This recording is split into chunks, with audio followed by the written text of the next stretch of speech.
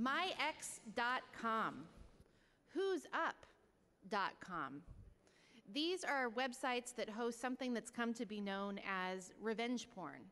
Over the last several years, there's been an explosion of these websites where individuals go and, without the consent of another person, upload photographs, uh, often very explicit, of that individual in a, in a nude way or a compromising position. And frequently, these images are posted on the internet alongside the personal information of the individual. Uh, this personal information can include their name, first and last name, their Facebook page, even their email address, their telephone number, or their home.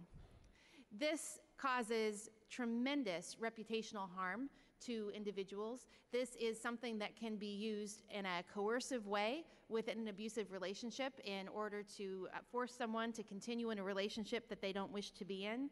And the harm is long lasting. For many of the individuals that have been impacted by this, when they apply for a job, when a friend from high school goes to look them up and they go to Google and they type in that name, the first thing that will pop up at the top of that Google search are these naked photos of themselves that they never intended to share with anybody else.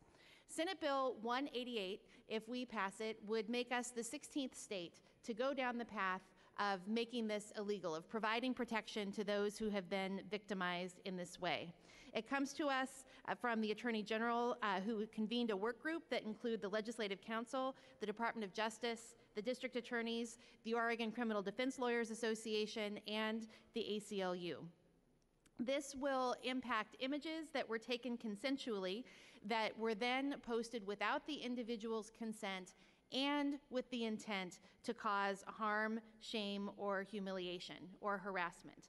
In order for this to apply, the court will need to, uh, to prove that it was uploaded with the intent to humiliate and harass. So, this means, for instance, that it would not be against the law for someone to share with a friend uh, in, a, in a private way uh, a photo that they took of their boyfriend or their girlfriend that would not be covered by this law. The bill would create a misdemeanor on the first offense and a felony on subsequent offenses. The bill came with a minimal fiscal. I did receive a question about that on the floor, and um, we'll just kind of put into the record, we got a note back from Legislative Fiscal. The Judiciary and Indigent Defense estimate the new bill will create between 15 to 20 misdemeanor offenses per year, one to five felony cases, and 15 to 20 juvenile delinquency cases. Those cases have a cost of $354 per misdemeanor, $740 per felony, and $375 per juvenile delinquency. The agencies all involved, the Department of Corrections, Indigent Defense, and Judiciary all felt this was a minimal fiscal impact. While it has a min- minimal fiscal impact, this issue has a life changing impact on its victims and its survivors. And what impressed me during this hearing was the courage of those who were willing to come into our Judiciary Committee and tell their own stories about how they had been hurt and harmed in this way. One of the people uh, that came um, works in Senator Hass's office. Uh, it's Christina Gordon.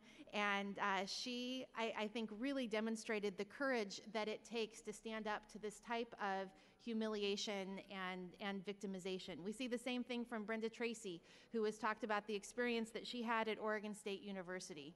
Passing laws like Senate Bill 188 help to empower survivors of sexual violence and sexual manipulation, which revenge porn is it helps us as a legislature to tell these individuals that they have done nothing wrong. Instead, they have been wrong. And the state stands behind them and, and creates a criminal justice system that will help them to seek justice and restore uh, their reputations moving forward.